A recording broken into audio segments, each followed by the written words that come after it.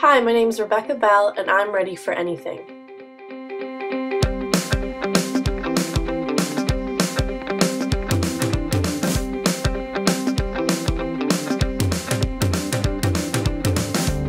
So sentimental.